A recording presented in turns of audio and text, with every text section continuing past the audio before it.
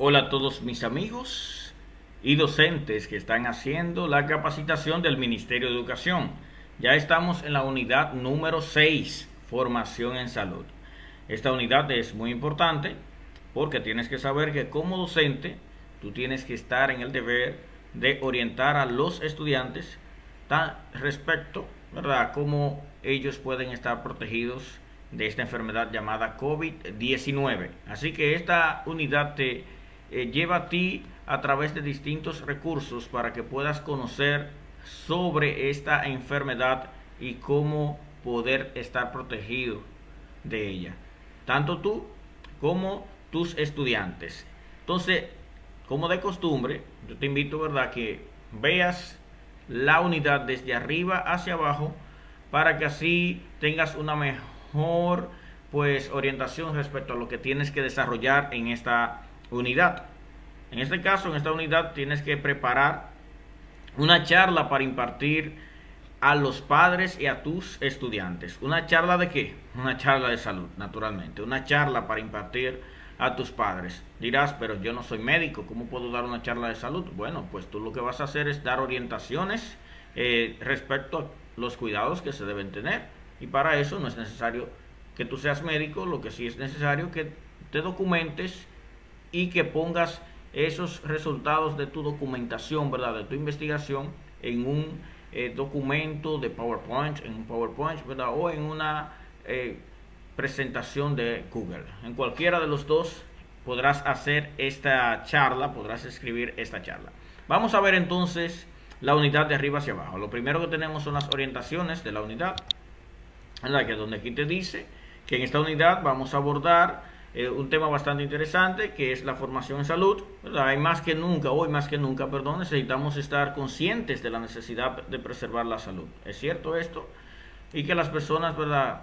que viven a nuestro alrededor también deben estar conscientes de esto. Bueno, la pandemia ha traído como resultado el que todos estemos atentos a nuestro cuidado.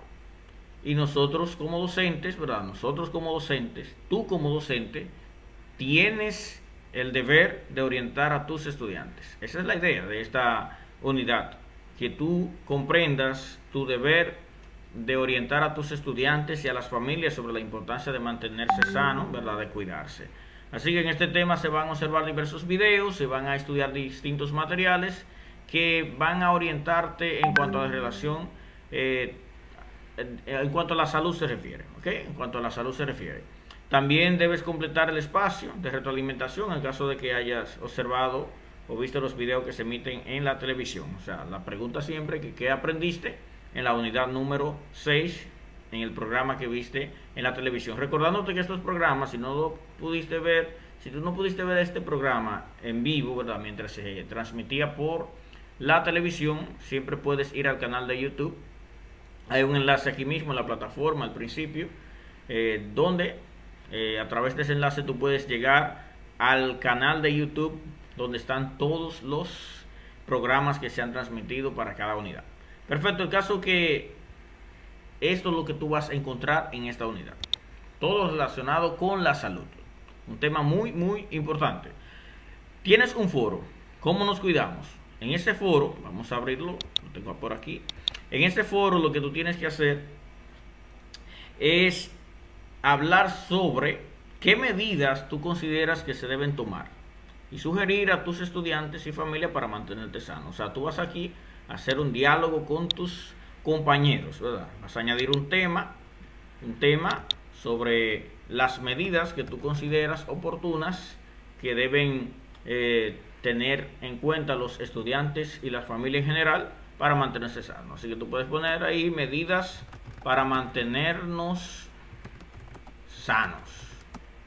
¿verdad? La covidialidad. Vamos a usar eso, la covidialidad. Bueno, podría ser así, que tú lo escribas, ¿verdad? Covidialidad.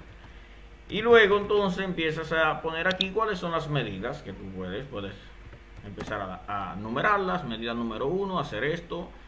Medida número dos, hacer lo otro.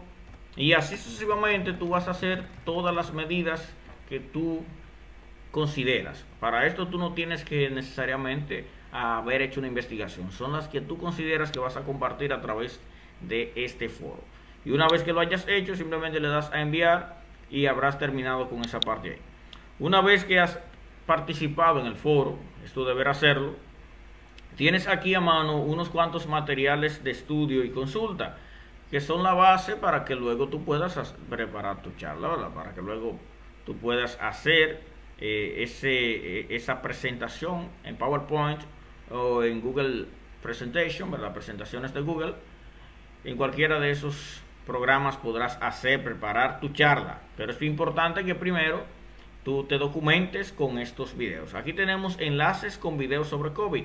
¿ok? Cuando tú le das clic allí, te va a llevar a estos enlaces, a estos videos que están aquí. Mira, ¿qué es el coronavirus? ¿verdad? Ahí te puedes documentar en ese video que te explica sobre lo que es el coronavirus y que te va a, te va a permitir que tú puedas eh, tener un soporte, una base para hacer, preparar tu charla. También tenemos aquí una entrevista con la doctora Vergés, ella es una psicóloga ella trata ahí el tema impacto del COVID-19 en la salud mental, ¿sabes? Porque COVID no solamente afecta a lo físico, ¿ok? También ha afectado lo mental porque eh, ha implicado que muchas personas tengan que estar encerrados por muchos días en su casa y todo eso estresa a algunos y bueno, ya tú sabes que todo eso provoca algunos desequilibrios emocionales al menos. Bueno, pero la doctora que es la experta habla sobre eso. Así que tú puedes ver el video para que así tengas una mejor base para preparar tu charla. Luego tienes aquí una guía de orientaciones básicas para el hogar. Muy importante esa guía porque recuerda que tú vas a preparar es justamente eh, una charla para tus estudiantes. Así que este es el documento. Este es el documento, míralo aquí, guía de orientaciones básicas para el hogar.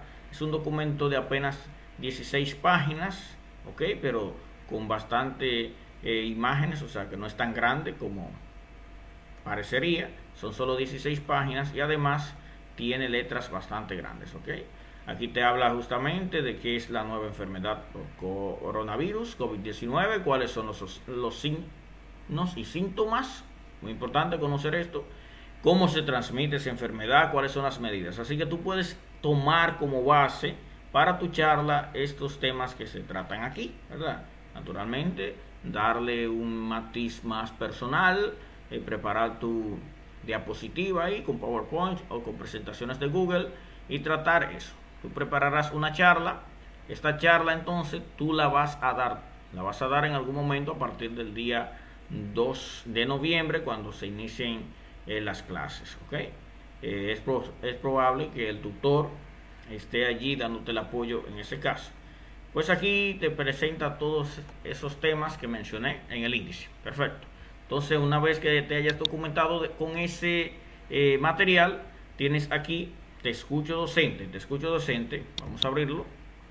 Te escucho docente es justamente, eh, te lleva allí a un enlace, a un enlace donde recibirás pues recursos para la gestión de emociones. Recuerda que en este caso el COVID no solamente afecta lo que es la parte física, también la emocional, eh, sobre todo si de repente tiene un, tu estudiante, ¿verdad? O tú mismo, un familiar que está eh, enfermo, muy mal enfermo de esta enfermedad.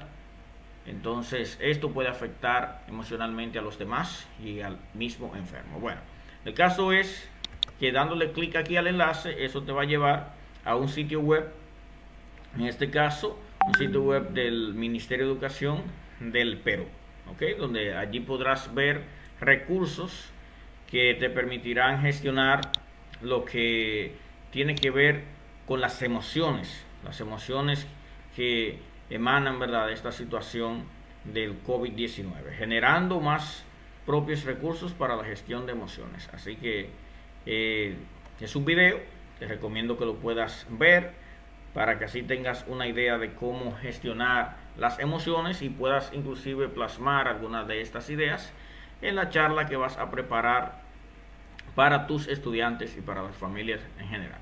¿Okay? ¿Qué más? Bueno, solamente tenemos esos materiales y a continuación tenemos ya la actividad propia que debemos llevar a cabo. La actividad propia, preparar una charla para impartir a los padres y estudiantes. Así reza o así dice eh, la actividad en cuestión. Vamos a ver eh, en qué consiste la actividad, ¿ok? Yo la tengo eh, por aquí, vamos a ver, vamos a ver aquí. Ok, mira aquí. Esta es la actividad, ¿verdad? En esta actividad te invitamos a que luego de estudiar los materiales, o sea, tu punto de partida son los materiales, por tanto tú tienes que sacar el momento para ver esos videos, para eh, ver ese documento que te mostré hace un rato. Y una vez que hayas eh, visto todo eso, entonces ya tú estarás en plena capacidad, tendrás suficiente información para preparar la presentación. Presentación que podrás hacer o en PowerPoint o en presentaciones de Google, ¿ok? En cualquiera de las dos es válido. Perfecto. ¿Y qué harás? Bueno, una vez que hayas preparado esas diapositivas, las vas a poner allí, vas a agregarle un cronograma sobre cuándo piensas darla, porque el plan es que la des a tu grupo, ¿verdad? Al grupo que, que te toque, tú le puedas dar esa charla. Así que la actividad además la puedes realizar por equipos de tres personas, ¿verdad? Así que si ustedes quieren, si tú como docente, junto a tus compañeros, pueden reunirse en grupos de tres personas y preparar así una charla entre los tres y luego cada uno la dará a su correspondiente grupo de estudiantes en la fecha que ustedes consideren oportuna a partir del día 2 de noviembre, ¿ok? Cuando te encuentres ahí con tu grupo de forma sincrónica, utilizando la aplicación que ustedes gusten, ya sea eh, Google Meet, eh, Microsoft Teams, eh, Zoom, Jitsi Meet, etcétera, ¿verdad? Entonces tú podrías darle esa charla a tus estudiantes, ¿ok? Dice que además debes realizar un cronograma de cuándo la van a realizar a partir del 2 de noviembre. Así, tu tutor, ¿verdad? El tutor asignado a tu grupo podría ayudarte en dicha actividad. Esa es la idea. Debes compartir en este espacio la presentación. Ya sabes cómo lo hace, ¿verdad? Si la preparaste con eh, PowerPoint eh, de forma eh, offline, entonces tú tienes que subir ese archivo a Google Drive, podría ser, ¿verdad? Tu carpeta de Google Drive y entonces la compartes aquí, compartes aquí el enlace, ¿verdad? Las añadir envío para compartir el enlace como lo has hecho en las unidades anteriores. Ahora bien, si preparas esa diapositiva utilizando presentaciones de Google, Simplemente tienes también que compartir, compartir la presentación y el enlace lo pegas aquí.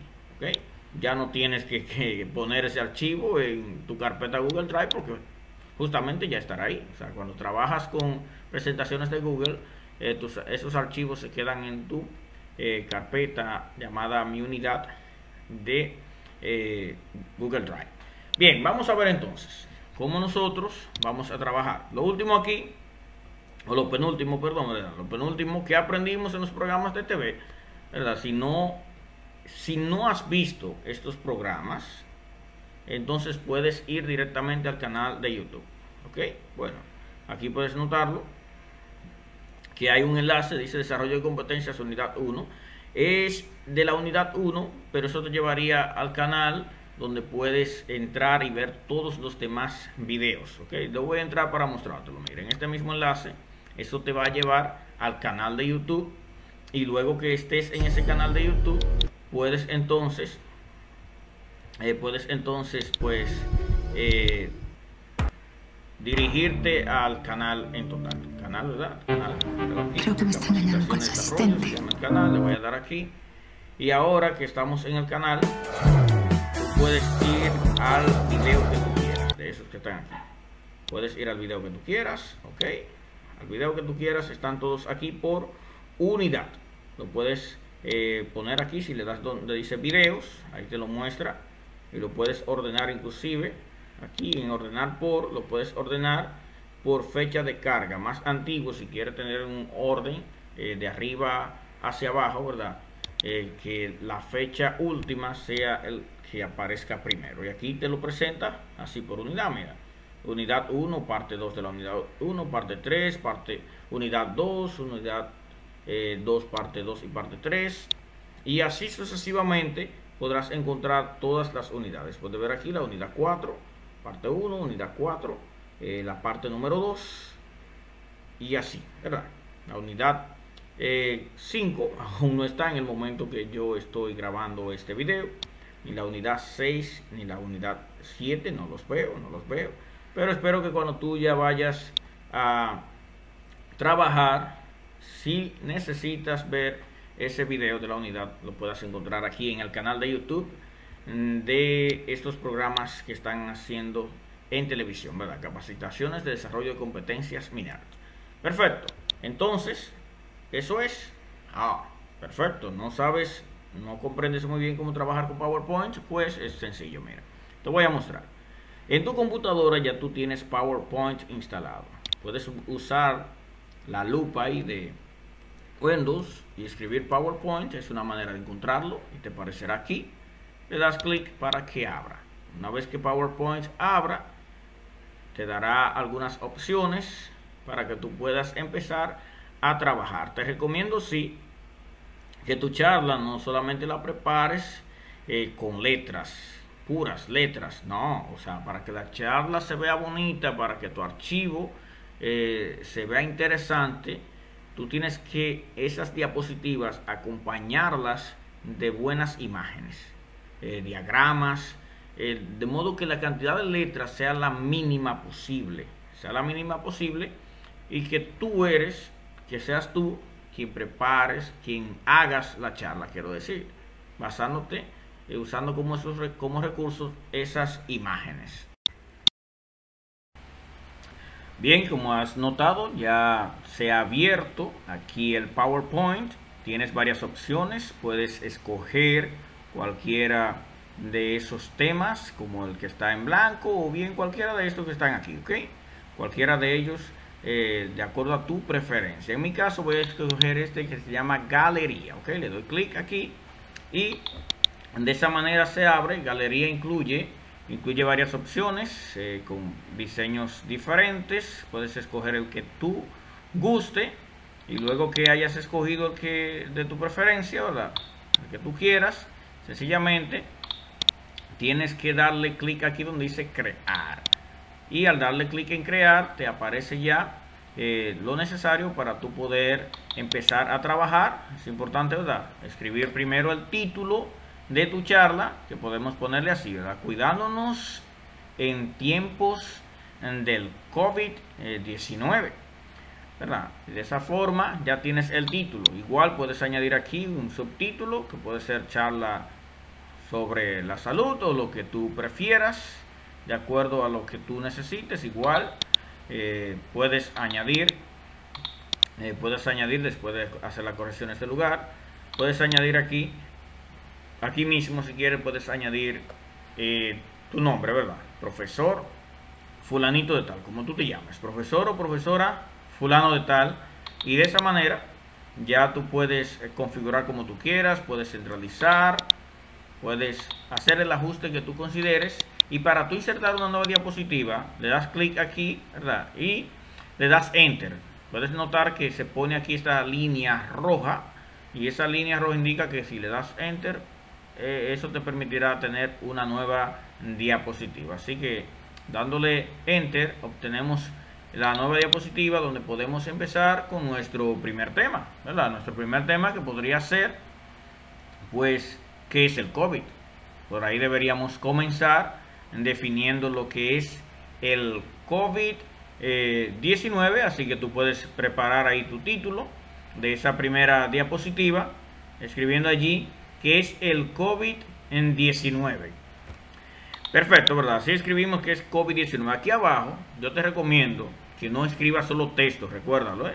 sino que es bueno siempre que te acompañes tu diapositiva de algún recurso extra como una imagen, un diagrama, eh, un pequeño video. Eh, eh, el caso es que no debes sobrecargar de texto las diapositivas. A fin de cuentas, esto que vas a dar la charla. Así que vamos a insertar aquí una imagen. Podemos hacerlo dándole clic aquí en insertar y luego dirigirnos a la opción imágenes. Y en imágenes tenemos tres opciones, ¿verdad? Tenemos tres opciones. Si desde este dispositivo, desde tu computadora, desde un archivo y desde eh, internet en línea, ¿verdad? En línea. Y es la opción que vamos a escoger aquí. También podríamos hacerlo desde aquí. Mira, aquí tienes las mismas opciones. En cualquier lado te dará lo mismo. Así que le damos a imágenes en línea. Y aquí lo que tenemos que hacer es, de acuerdo a la velocidad del internet, esto va a cargar, eh, buscar, buscar lo que nosotros queremos. Lo que queremos es una imagen, una imagen de COVID-19, así que escribimos ahí COVID, COVID para que nos cargue una imagen apropiada y nosotros poder escoger la que nos parezca útil para nuestro caso. Yo voy a escoger esta y una vez que la selecciono le doy a insertar y entonces dependiendo de la velocidad de tu internet se va a cargar en un tiempo corto o un tiempo largo. Eso va a depender de tu internet, ¿ok? En caso que esperamos unos segundos hasta que haya cargado la imagen y entonces podamos hacer los correspondientes ajustes a, dicha imagen. Bien, entonces, como puedes notar, aquí ya tenemos nuestra imagen. Podemos eh, hacer algunos ajustes, como moverla donde nosotros queramos. Y es necesario que agreguemos un texto, ¿verdad? Que agreguemos el texto a la, la respuesta que es el COVID-19. Sabiendo que eh, ese texto no debe ser tan largo. Vamos a buscarlo en, en internet, pero recuerda que tú tienes materiales donde están ya esas informaciones. Es bueno que lo tomes directamente del material. Pero en mi caso lo voy a buscar directamente de internet porque es un ejemplo solamente. Así que voy a escoger un texto que me diga que es el COVID para así poder ponerlo acompañando la imagen que hemos colocado. Así que vamos a ver cuál texto nos conviene. Vamos a ver este, ¿verdad? Estamos viendo a ver si este tiene una respuesta eh, a qué es el COVID-19. Y si nos satisface esa respuesta, lo seleccionamos y le damos a copiar. Y entonces, si no tienes la opción donde insertar el texto, simplemente te diriges a, allá al menú. Te diriges al menú para que puedas insertar el texto. Le das ahí en el, bueno, ¿verdad? Aquí en el menú insertar y buscas la opción que se llama eh, pues cuadro de texto, en el grupo texto, ¿verdad? Cuadro de texto y eh, dibujas el cuadro del tamaño que tú quieras, no hay problema con eso. Y allí entonces y le das a pegar al texto que, hayas copiado, recordándote, ¿verdad? Que debes poner un texto lo más preciso y conciso posible. No vas a llenar eso de letras, ¿ok? De palabras que recuerda que es para tus estudiantes. Así que eh, le das el tamaño adecuado, así que borras lo que tú no necesites y dejas solamente la respuesta a qué es el COVID-19, ¿verdad? De manera que tus estudiantes puedan recordar fácilmente esa respuesta. Y es bueno que el texto no sea pequeño. Es recomendable que el texto tenga un tamaño de al menos 32 puntos, ¿ok? Así que cámbialo a 32 porque aunque es probable que tú trabajes eh, virtual, pero prepárala por si tienes que hacerlo en formato presencial y entonces que la persona que está atrás al final también puedan ver el, contenido de tu diapositiva sin mayores eh, dificultades. ¿ok? De esa manera puedes notar que fácil ha sido para nosotros crear pues esta diapositiva. Recordándote, ¿verdad? Que puedes hacer los ajustes que tú quieras. Por ejemplo, vamos a poner aquí más grande lo que es el título, a centralizarlo. Inclusive podemos darle un formato utilizando ahí lo que se llama eh, Smart Art, ¿verdad? Y ese por ejemplo lo voy a poner. Tú puedes escoger si quieres el que tú quieras eso es opcional.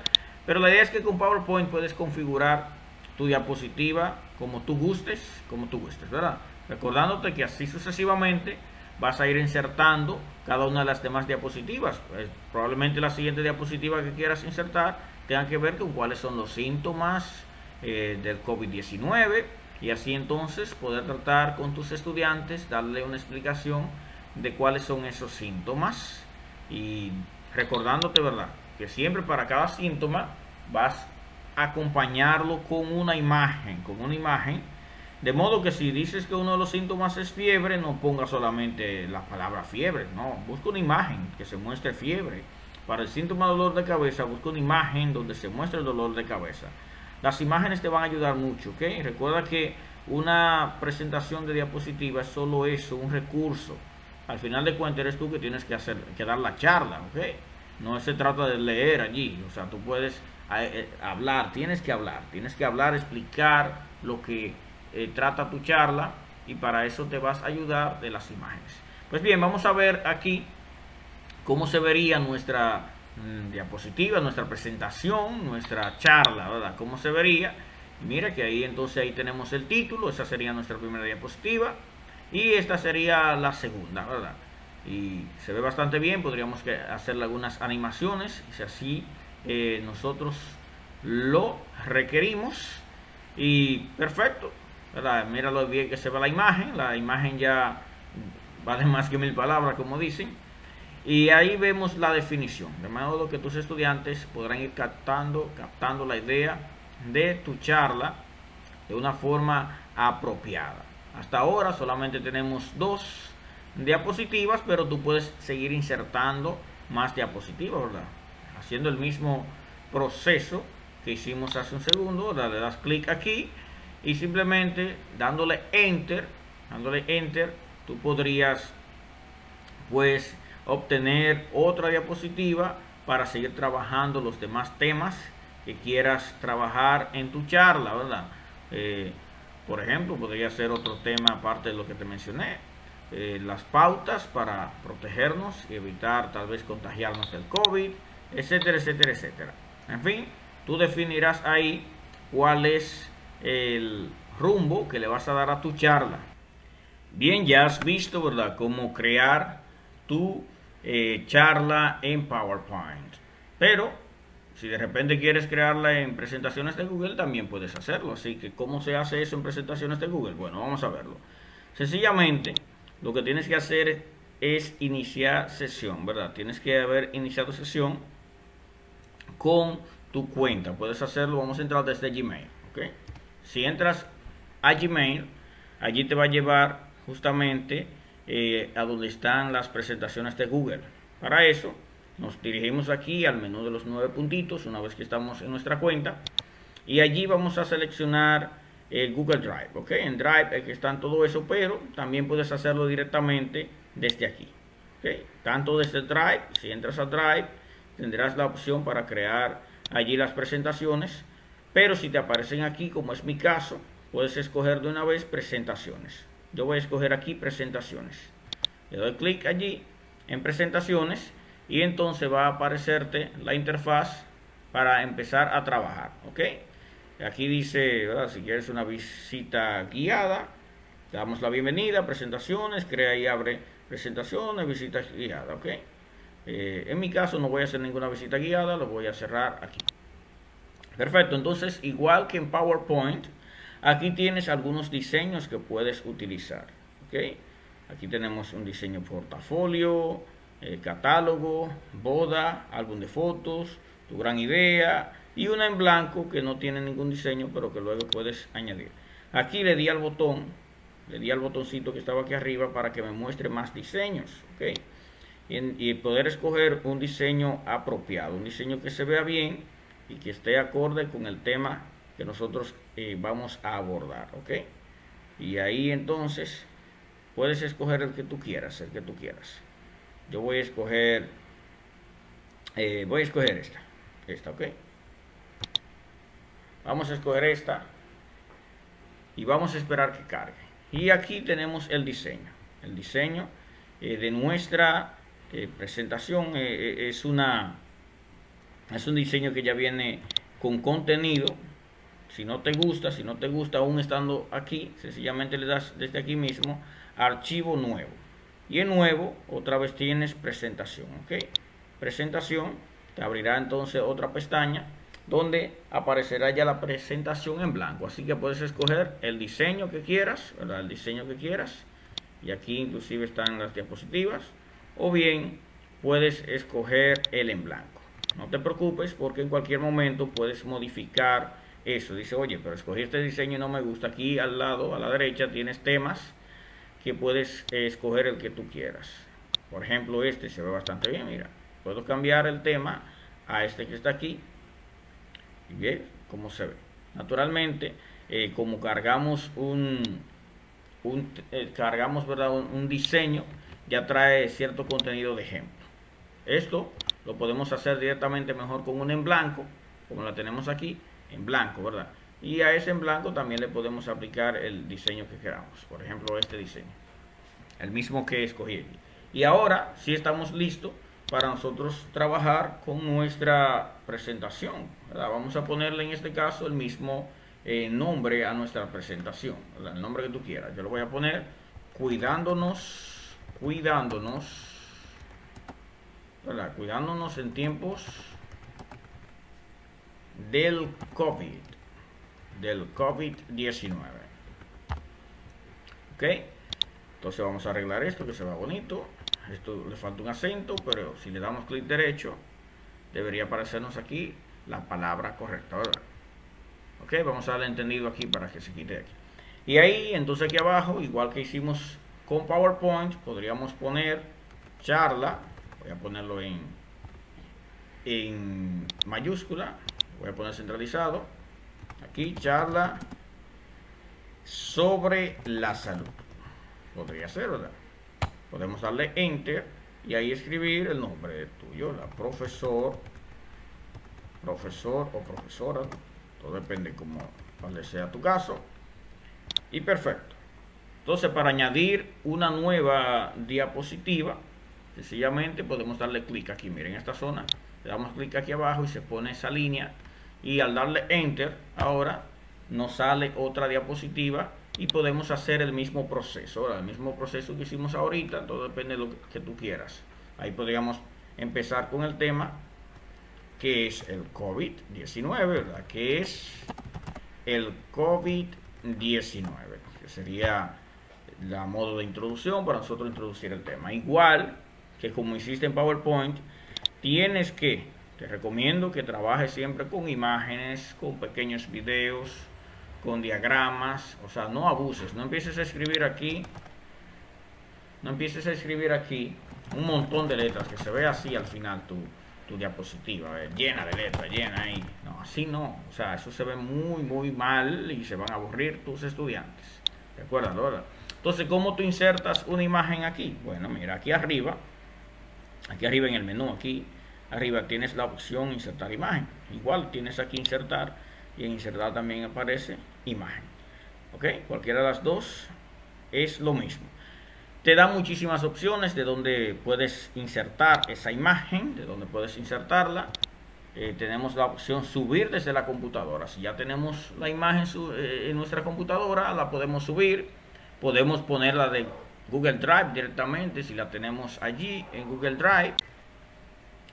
Bien, perdón, te decía, ¿verdad? Que la tenemos aquí. Si podemos cargarla la imagen, si ya la tenemos en Google Drive, dándole clic aquí, inclusive en Google Fotos, si tienes la imagen allí, o si tienes la URL donde está la imagen, inclusive podrías usar la cámara de tu, de tu dispositivo, de tu laptop. Pero la opción que vamos a escoger en este caso, al menos la que escogeré yo, es buscar en la web. Buscar en la web, le voy a dar clic ahí en buscar en la web, y aquí a la derecha, dependiendo de la velocidad de tu internet, se va a ver rápido entonces, aquí te aparece ya el, cursor papadeando para que tú puedas, ¿verdad?, buscar la imagen que tú quieras. La imagen que yo voy a buscar es COVID-19. Quiero una imagen de COVID-19. ¿Ok? Entonces vamos a ver la imagen que aparezca. Bueno, en este caso aparecen unos mapas que tienen que ver con COVID-19, pero no es lo que queremos. Queremos algo que parezca un virus, así, ¿verdad? Algo relacionado con el virus. Entonces, Aquí escoges la imagen adecuada. Yo voy a escoger esta. Ok. Tengo esta imagen y le doy aquí donde dice insertar una vez que escojo la imagen. Muy bien, la imagen entonces, dependiendo de la velocidad de tu internet, se va a cargar. Y puedes entonces hacer el ajuste apropiado. Bien, te decía que tú puedes, ¿verdad? Puedes aquí ajustar la imagen de acuerdo a tu necesidad, ¿verdad? De acuerdo a tu necesidad, la puedes poner más pequeña, más grande, etcétera, etcétera, como tú quieras. ¿okay? Yo lo voy a poner, por ejemplo, así. Así, ¿ok? Tú ves además que tenemos un cuadro detrás, este cuadro, para nosotros, para nosotros poder poner el texto. Este cuadro podemos ponerlo también más pequeño para dejar la imagen eh, pues a un lado y ahora sí podríamos poner el texto aquí. El texto que nosotros eh, queramos, perdón. Vamos a darle aquí a control Z. Siempre con control Z puedes deshacer la última acción que hayas hecho. Aquí entonces podríamos poner la definición de COVID-19. De COVID-19 la podemos poner que la tenía hace un ratito, pero tendré que volver a buscarla, no sé dónde la puse. Vamos a ver. ¿Qué es COVID-19? ¿verdad? Lo mismo que hicimos ahorita, ¿qué es COVID-19? Entonces tomamos la definición de lo que es COVID-19. Vamos a tomarla, por ejemplo, de aquí. Vamos a ver si esta definición es adecuada. Recuerda que todo esto puedes tomarlo directamente de eh, los materiales que tiene aquí la que tiene justamente la unidad número 6 ¿verdad?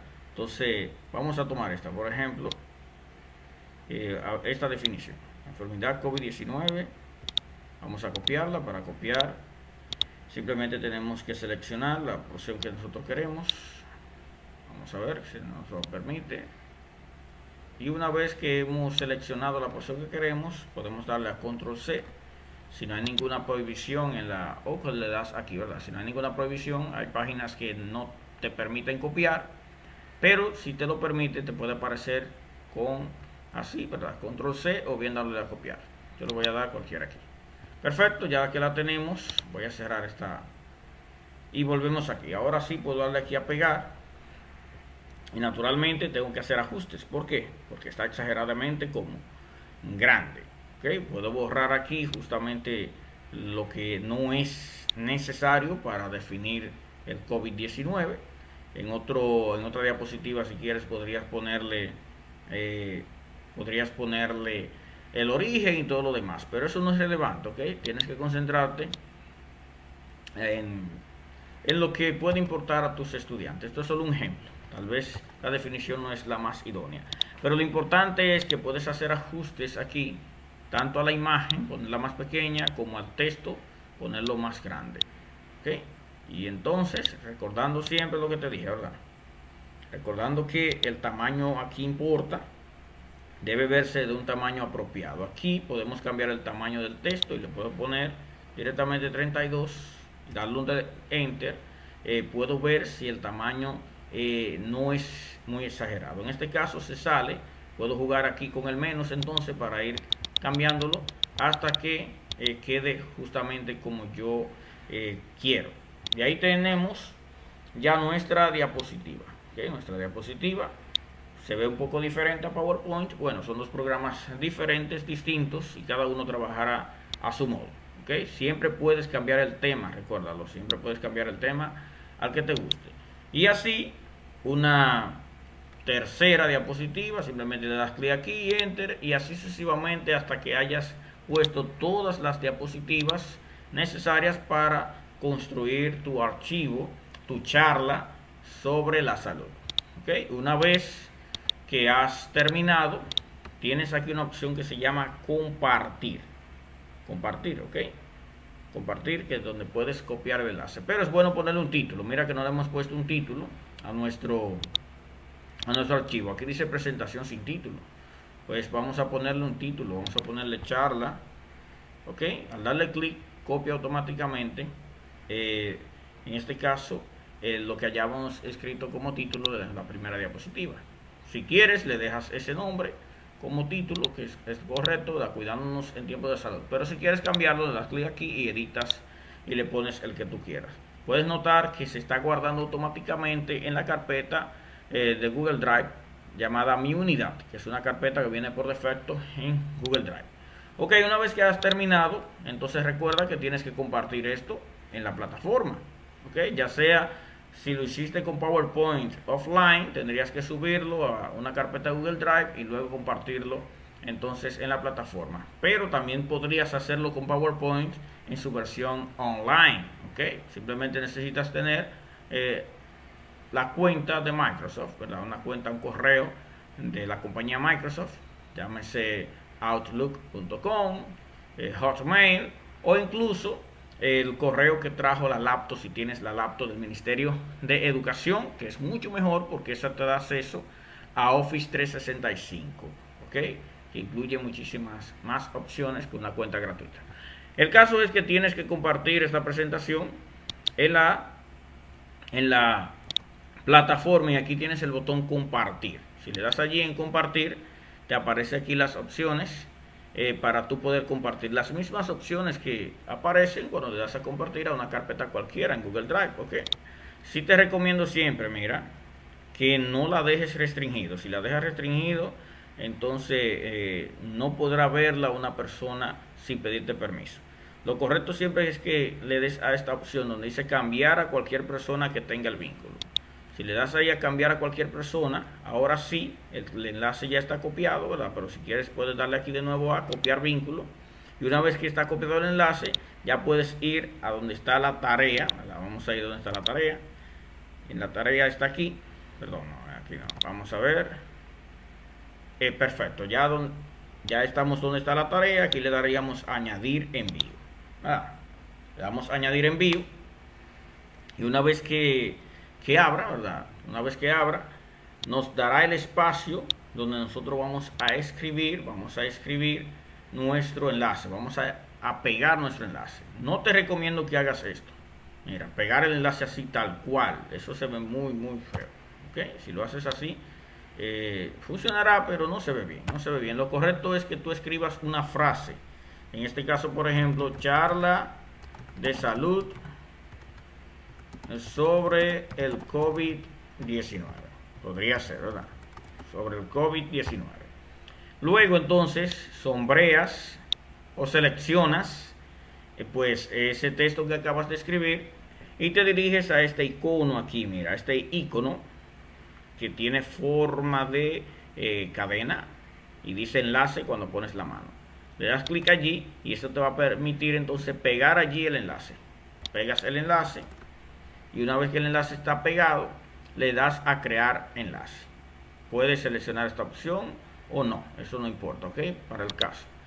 Y aquí entonces ya puedes notar que el enlace está en la frase porque la frase se ha subrayado y además ha cambiado de color de negro a azul. Esa frase inclusive puedes ponerla más grande si la seleccionas y le das aquí a la A. Puedes poner el encabezado como tú quieras, mediano, yo lo voy a poner grande. Encabezado grande para que se vea mucho mejor. Y una vez que estés listo para hacerlo, le das aquí donde dice guardar cambios. Y en guardar cambios va a hacerse ya el proceso, ¿verdad? Y aquí podrás notar que dice enviado para calificar. Y además podrás notar el enlace que acabas de compartir con eh, tu facilitador y tu tutor y los supervisores que puedan entrar ahí a la plataforma podrán ver tu trabajo a través del enlace que tú has mandado. Bien, regresamos entonces. Una vez que hemos hecho eso, que hemos hecho nuestra charla, lo que tendríamos que hacer ahora es responder a la pregunta que aprendimos en los programas de TV o radio, ¿verdad? esa pregunta que está en cada una de las unidades, ya tú sabes qué es lo que hay que hacer, le das a contestar las preguntas, contestar las preguntas, escribes aquí eh, la respuesta a esa pregunta. Ah, bueno, en esta unidad yo aprendí eh, sobre la salud, eh, cuáles son los métodos que debo utilizar para mantenerme protegido y tanto yo como mis estudiantes, mi familia en general, etcétera, etcétera. Lo que tú hayas aprendido en esa unidad es que tú vas a escribir aquí y luego le vas a dar a enviar sus respuestas. Aquí hay un pequeño error porque te dice la unidad 1 y realmente eh, ya estamos en la unidad número 6. Pero no importa. ¿eh? Puedes ignorar esa parte y escribir tu respuesta aquí. Bien, habiendo visto eso, creo que ya estamos claros en qué es lo que hay que hacer con la unidad número 6. Así que ya tú sabes, ponte en eso es que no se te quede ninguna unidad por hacer porque en el hacer es como podrás aprender. Haciendo es como se aprende. Así que ya tú sabes. Hasta la próxima. Bye.